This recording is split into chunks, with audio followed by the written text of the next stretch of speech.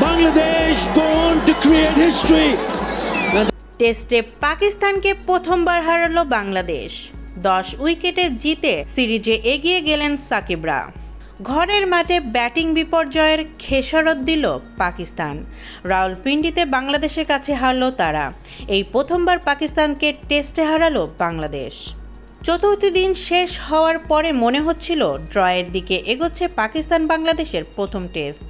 কিন্তু পঞ্চম দিন ছবিটা পুরো বদলে গেল। দ্বিতীয় ইনিংসে ব্যাটিং বিপর্যয় পাকিস্তানের। মোহাম্মদ রিজন ছাড়া বাকি কেউ দাঁড়াতেই পারলেন না।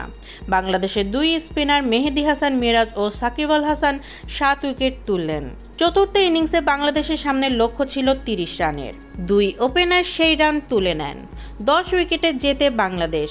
এই প্রথমবার পাকিস্তানকে টেস্টে হারালো তারা। দুই ম্যাচের সিরিজ এক শূন্যতে এগিয়ে গেল তারা। অর্থাৎ এই সিরিজে আর হারবে না বাংলাদেশ। সিরিজ ড্র করতে হলে পরের টেস্টে জিততেই হবে পাকিস্তানকে। পাকিস্তানের বিরুদ্ধে এর আগে তেরোটি টেস্ট খেলেছিল বাংলাদেশ, যার বারোটিতেই জিতেছে পাকিস্তান। একটি ড্র হয়েছিল। চোদ্দতম টেস্টে পাকিস্তানকে হারালো বাংলাদেশ। টেস্টের ইতিহাসে ভারত ও দক্ষিণ আফ্রিকার বিরুদ্ধে এখন পর্যন্ত কোনো টেস্ট জিততে পারেনি বাংলাদেশ।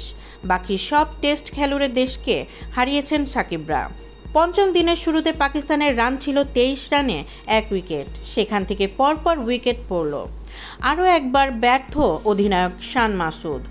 তিনি করেছেন চোদ্দ এবং বাবর আজম করেছেন বাইশ। যত দিন যাচ্ছে, তত সমালোচনা হচ্ছে বাবরের ব্যাটিং নিয়ে। রাওয়ালপিন্ডি টেস্ট সেই সমালোচনা যে আবারও বাড়িয়ে দিল, তাতে সন্দেহ নেই। প্রথম ইনিংসে শত রান করা সাউথ শাকিল এই ইনিংসে শূন্য রানে আউট হলেন। দ্বিতীয় ইনিংসেও একাই লড়াই করলেন রিজওয়ান। দেখে মনে হলো তিনি অন্য পিচে খেলছেন। সঙ্গে কাউকে পেলেন না রিজওয়ান। একসময় মনে হচ্ছিল ইনিংসে হারতে হবে পাকিস্তানকে। রিজন দলকে বাঁচান। অর্ধ শতরান করেন তিনি। নিচের সারির ব্যাটারদের নিয়ে লড়ছিলেন রিজওয়ান, কিন্তু একান্ন রানের মাথায় মেহেদির বলে বোল্ড হন তিনি। তারপরেই শেষ হয়ে যায় পাকিস্তানের ইনিংস। মাত্র একশো ছেচল্লিশ রানে অল আউট হয়ে যায় তারা। বাংলাদেশের বিরুদ্ধে এক ইনিংসে এটি কোনো দলের সর্বনিম্ন রান।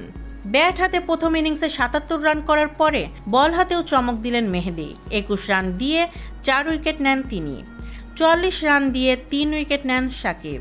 টেস্ট জিততে বাংলাদেশের দরকার ছিল তিরিশ রান। বোঝাই যাচ্ছিল এই ম্যাচ পাকিস্তান আর কোনো মতেই বাঁচাতে পারবে না। তিরিশ রান করতে বেশি সময় নেয়নি বাংলাদেশ। ছয় দশমিক তিন ওভারে ম্যাচ জিতিয়ে দেন দুই ওপেনার। দশ উইকেটে ম্যাচ জিতে মাঠ ছাড়ে বাংলাদেশ। ঘরের মাঠে এই হারের ফলে পাকিস্তানে বিশ্ব টেস্ট চ্যাম্পিয়নশিপের ফাইনালে ওঠার স্বপ্ন ধাক্কা খেল।